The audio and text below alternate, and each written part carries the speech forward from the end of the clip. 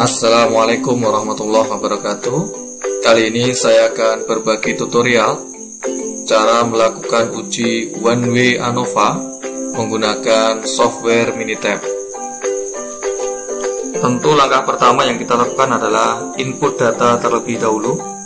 One Way ANOVA melibatkan satu variabel bebas dan satu variabel terikat. Misalnya kita akan mengkomparasikan apakah terdapat perbedaan prestasi antara mahasiswa dengan gaya belajar auditorial, visual, dan kinestetik, maka langkah yang pertama yang kita lakukan adalah kita masukkan di kolom C1 variabel bebasnya atau X-nya yaitu gaya belajar, kemudian C2 kita masukkan prestasi. Kita ketahui bahwa gaya belajar ada auditori, visual, kinestetik, maka kita masukkan di sini gaya belajar auditorial sebanyak sampel siswa ataupun mahasiswa dengan gaya belajar auditorial.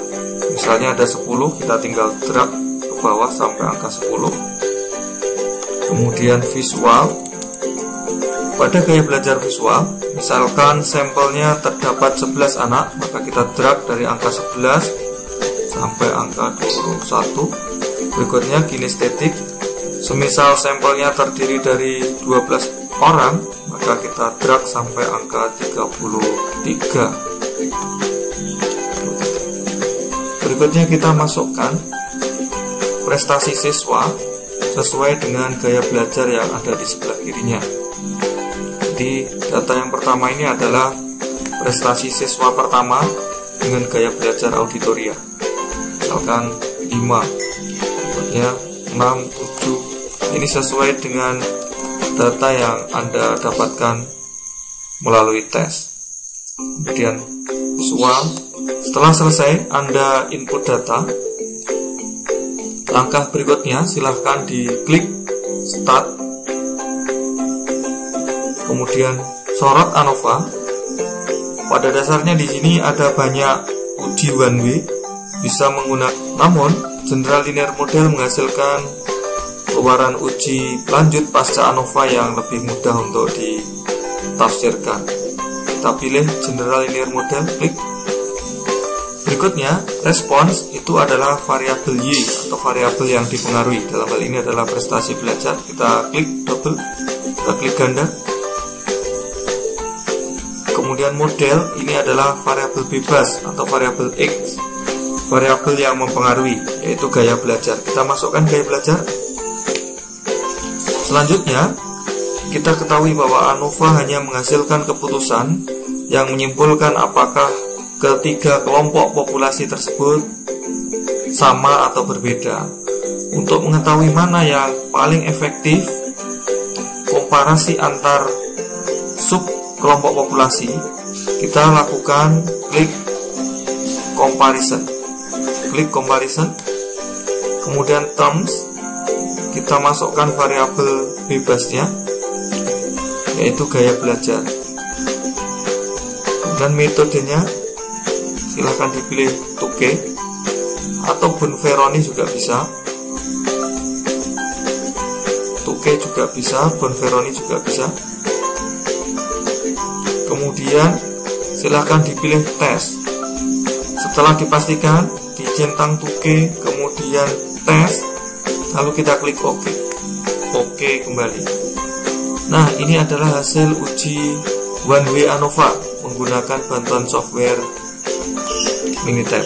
Hasilnya cukup mudah untuk ditafsirkan yaitu kita cukup melihat nilai dari P value pada gaya belajar di mana kita ketahui bahwa P value ini 0,000 sehingga angka P value ini kurang dari alfa.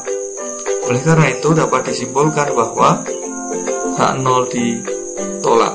Jika H0 ditolak maka kesimpulannya adalah prestasi belajar siswa ataupun mahasiswa menurut gaya belajarnya berbeda. Selanjutnya, untuk melihat mana yang lebih baik, kita lihat hasil pairwise comparison.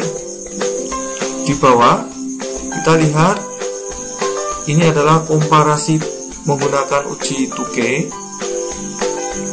antara gaya belajar auditorial, kinestetik, dan visual. Auditorial jika dibandingkan dengan kinestetik, kita melihat p-value-nya 0,0000 sehingga kurang dari alfa. Oleh karena itu dapat disimpulkan bahwa prestasi belajar antara siswa auditorial dan kinestetik tidak sama. Untuk melihat mana yang lebih baik, kita bisa melihat difference of means atau melihat rata keduanya.